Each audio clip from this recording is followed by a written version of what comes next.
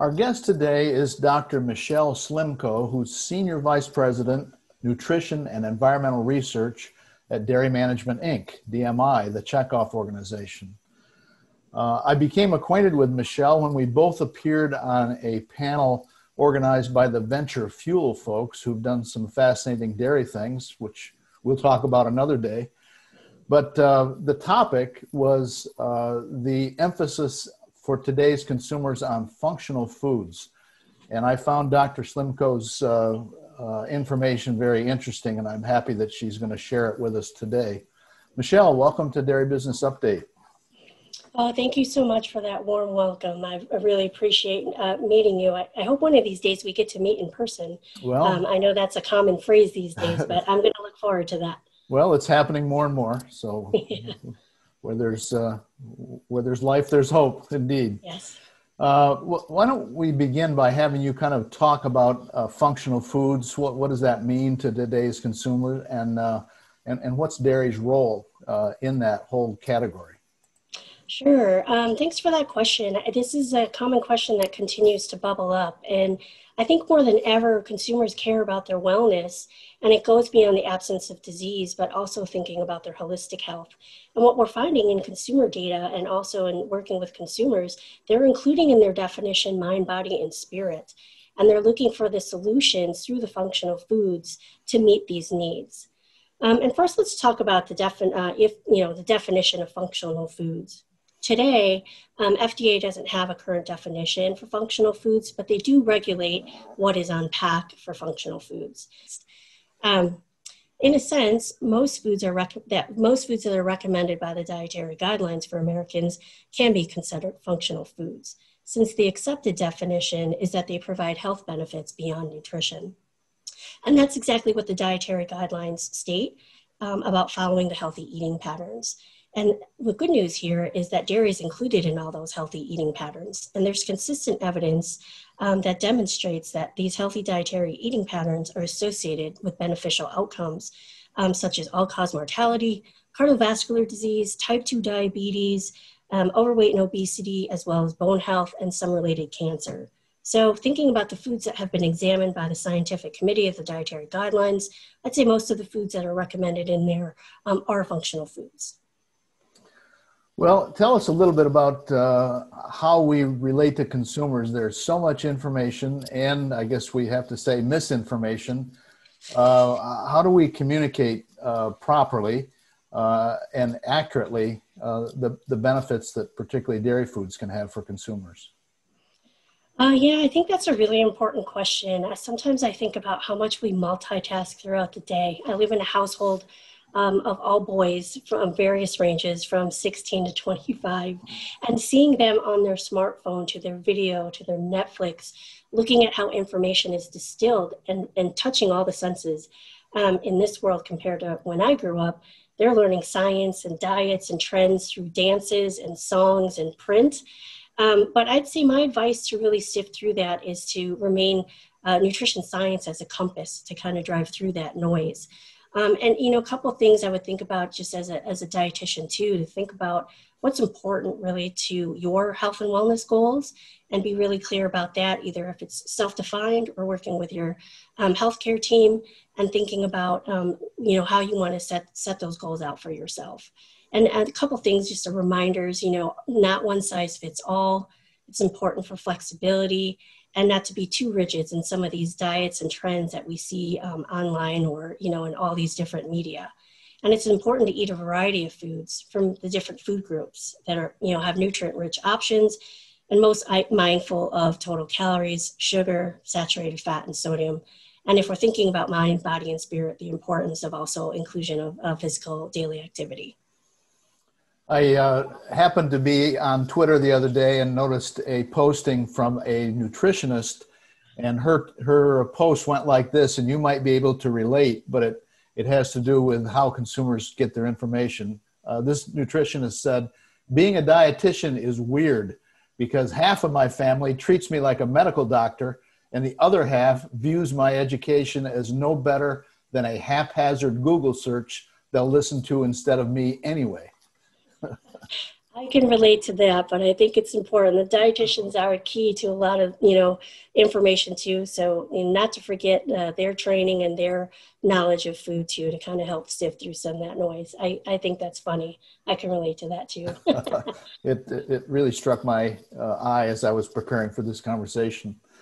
Um, talk a little bit about some of the research areas, uh, particularly how we are trying to reach the Zen, Gen Z uh, uh, folks, uh, young people, uh, and, and what their emerging expectations for, for food are.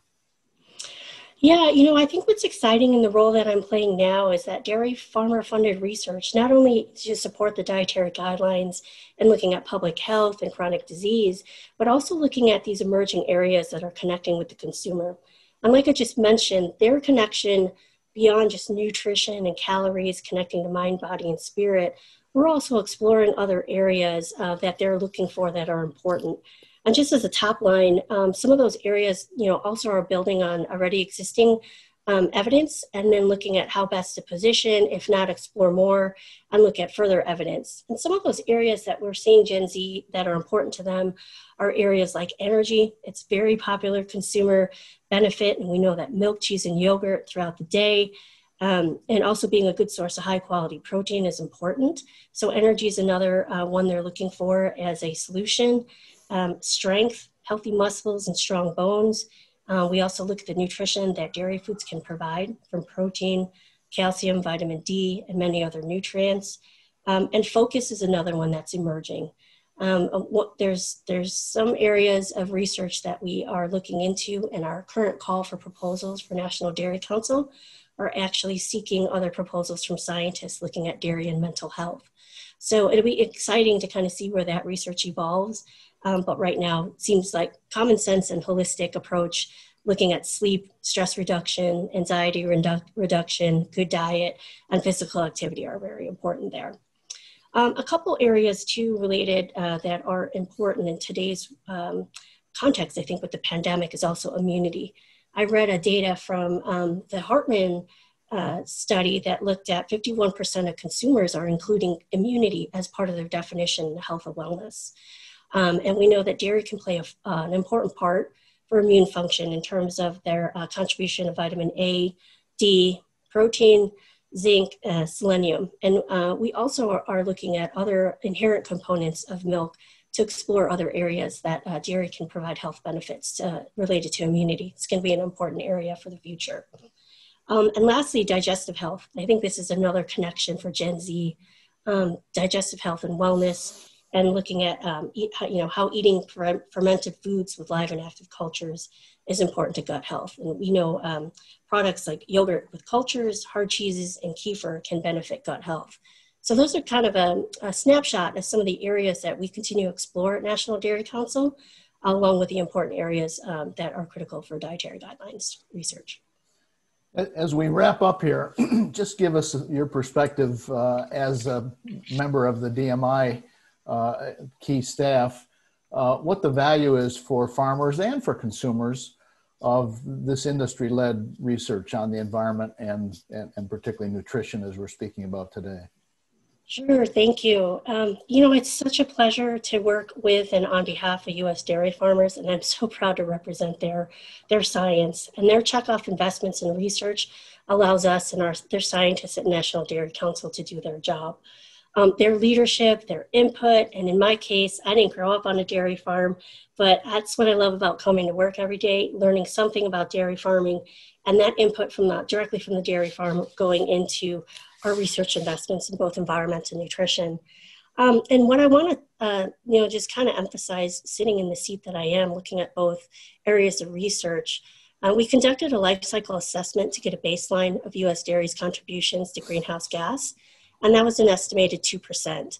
Um, it gave us a benchmark to continuously uh, work to improve upon, and it goes beyond, beyond greenhouse gases to best practices to care for natural resources like water and soil, and also using innovation to generate newer, greener sources of energy like biofuel. And that's where our sustainability goals and our net zero efforts come into play. But the powerhouse part of this story is then you include that and take a century long legacy in human nutrition and health that NDC research has led and is known for, and combine that with the more recent two decades of focus on environmental research and IC led innov- innovation, you get a whole more holistic experience to share with today's consumer. And that's what they're seeking foods that are good for them and help them achieve their benefits and what they want.